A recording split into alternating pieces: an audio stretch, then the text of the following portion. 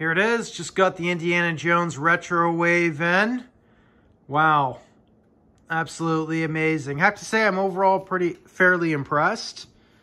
Uh, I got the five in. I thought they were going to come in... Uh, I got them from this store in Montreal called Commodore. Anyways, they came in, uh, you know, uh, pop uh, box there. So I thought I was going to come in the Hasbro uh, Indiana Jones shipper, but they didn't. Um, they have a, a fee where you can spend an extra three bucks and they oh, what is it they do? They they do some really nice hand pick ones, or they pack them really well. Not too bad. I wish they would step it up a little bit. Uh, but anyways, I just pulled these out right now. So we got uh, Marion Ravenwood right here. Beautiful card back. They got her lower part of the skirt done, I think, fairly well. Not like the original, but I don't know if they, I don't think they can find the material for that. Um, that's going to replicate. She comes with a monkey. Awesome. But I mean, always wanted all these. I think I had, I had some of these as a kid. I just can't remember which one. I know I had Indiana Jones, obviously.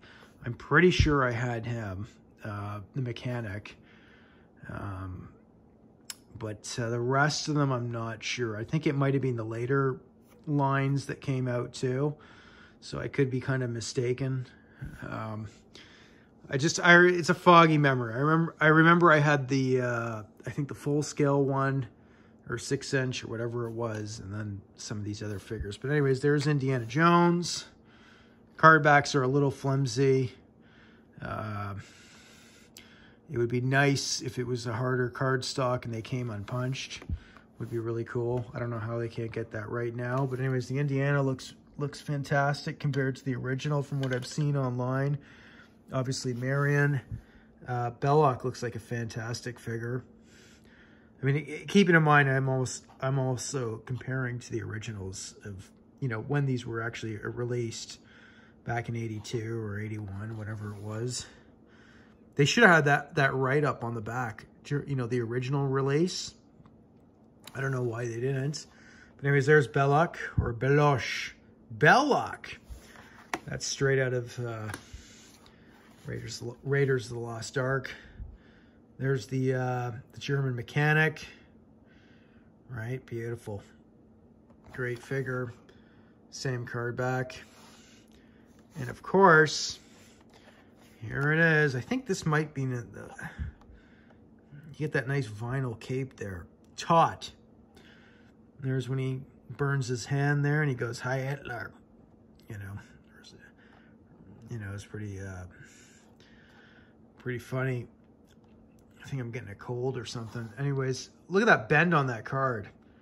Good Lord. That'll flatten out though. Anyways, but uh, I think let me see all the card backs. Yeah, this, yeah, you'd think the one that they would send me wouldn't have that lift on the corner there, but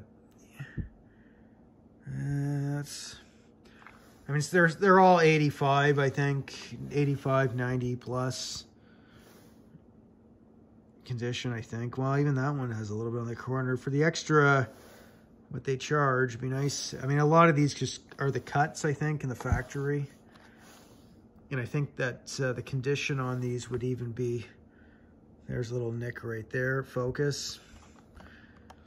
Little John Rula action figure grader. I wonder if my buddy Martin uh, picked these up. He should. These are great films. Let's check the condition on this one here. Ah, a little bit of edge wear.